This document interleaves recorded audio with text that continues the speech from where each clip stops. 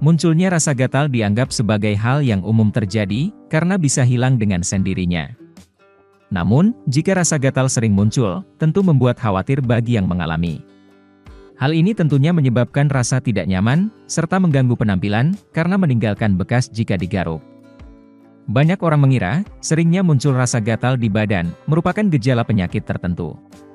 Nah, Inilah fakta mengenai rasa gatal yang muncul di badan, merupakan gejala penyakit serius atau tidak. Faktanya, badan sering gatal bisa menjadi tanda terkena penyakit berbahaya. Di antaranya adalah mengidap penyakit kronis, seperti anemia, diabetes, gangguan ginjal, masalah tiroid, penyakit hati, hingga penyakit kanker. Mengalami masalah psikologis, seperti stres, gangguan kecemasan, hingga depresi, bisa juga jadi penyebab munculnya rasa gatal. Selain itu, memiliki masalah kulit kering, eksim, biduran, psoriasis, hingga infeksi kulit, juga memicu badan sering terasa gatal.